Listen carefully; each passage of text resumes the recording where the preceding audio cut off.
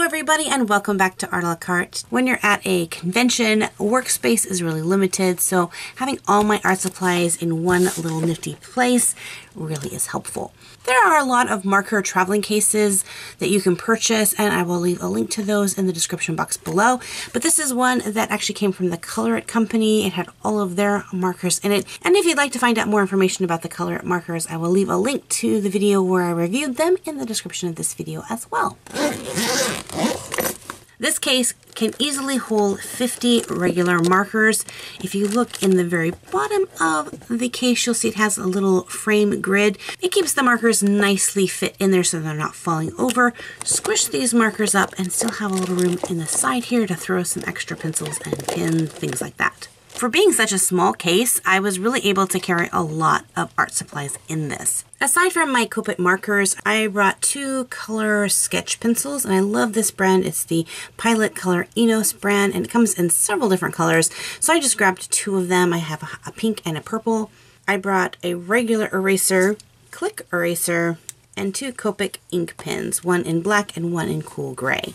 This is a pretty good setup, but every time I travel with my art supplies, I kind of figure out what works better for me, what things I really missed having, and what things I really didn't use. So as far as pencils, erasers, and pens, what do I wish I would have brought? and that would have been a regular drawing pencil because everything I sketched was either in pink or purple.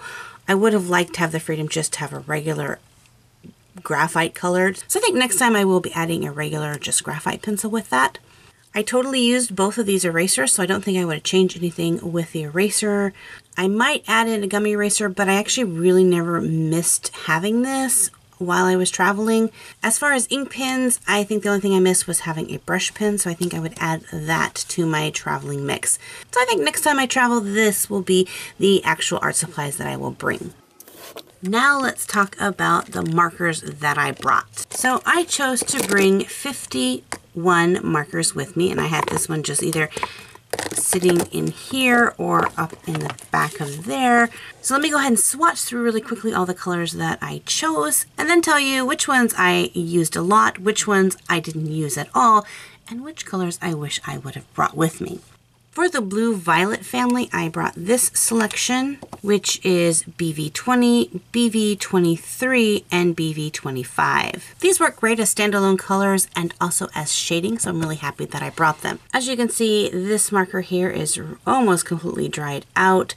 I thought I had checked all of my markers, but failed to check my BV23.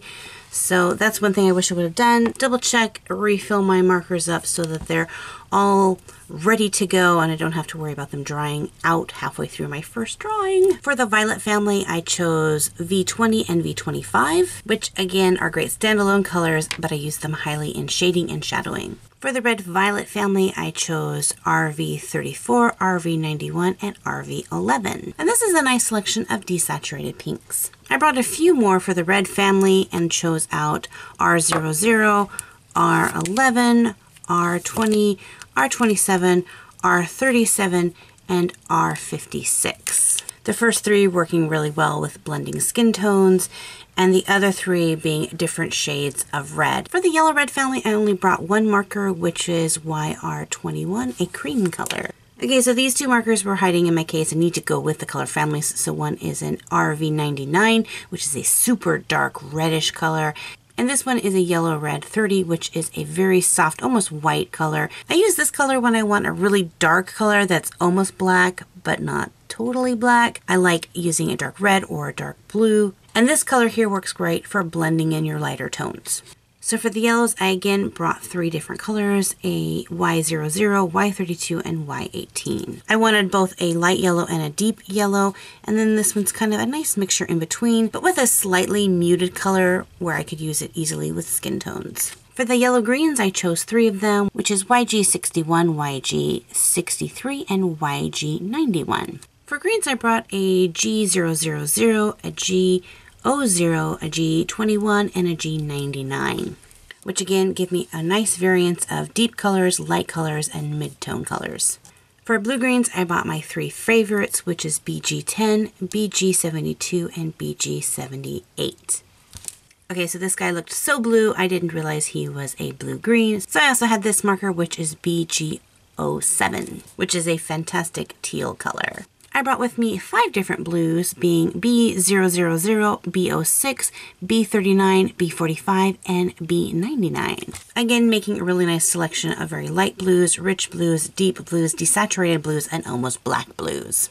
My largest selection of color grouping is my earth tones, and I chose a lot of them because I wanted a wide selection and variance in skin tones. The colors I brought were E0000, E00, E004, E11, E13, E21, E23, E27, chocolate milk, E39, E50, E71, E74, E84.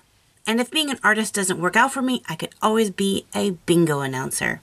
Bingo! The last two markers that I chose were a gray, which was warm gray 1, and my special black, which is 110. And I think I used every one of these colors at least once during my trip, so I'm glad I had them with me. But what colors would I like to add? I just take all of the colors? Aside from having a few more gray tones, which would have been wonderful, the only color that I desperately needed and couldn't really mix or blend very well was a good old-fashioned orange. What are some of those tools and supplies that you bring when you go on a trip? So let's talk about that in the comment section. If you're brand new to my channel, welcome to Art a la carte. Make sure to hit that subscribe button so that you don't miss out on any future videos. And as always, thank you guys so much for hanging out with me. And until next time, God bless you guys. And we'll see you in another art video. Maybe this one or that one. Watch all the art videos. Bye.